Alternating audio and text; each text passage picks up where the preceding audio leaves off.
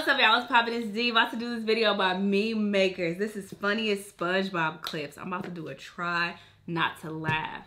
SpongeBob is just so close to my heart, okay? I always watched this growing up as a kid, and this was just my favorite cartoon. And SpongeBob was just so dope. I loved him. I loved Patrick.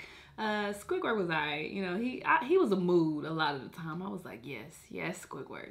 Um, but yeah, so I really love SpongeBob. Um, I just remember a lot of these moments being hilarious. So trying not to laugh is gonna be difficult, but I'm pretty sure I could do it. I got, I got this in the bag, all right? I've been beasting lately on these challenges. Try not to laugh, try not to smile, keep a straight face. I've been beasting, so you know I'm unstoppable right now. Okay. For if by some minute chance you meet the challenge, your reward will be great. Behold! Look at that hairy ass chest. Now behold. Hey, this was funny. I didn't laugh though. I passed it. It was a couple times I came close, but I passed. Okay, don't try to lie and say I failed either. I passed y'all.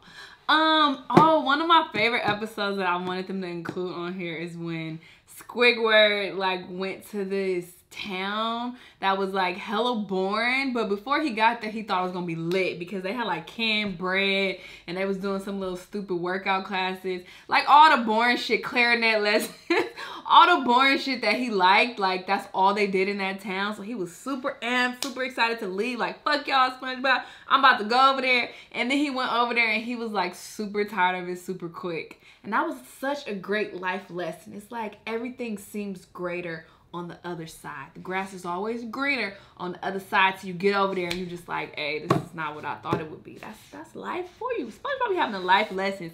Anyway, I love SpongeBob as you can see. but yeah, this is a good video. It was funny. Let me know what y'all thought. Let me know what other videos you want me to react to and I'll see you in the next one. Bye!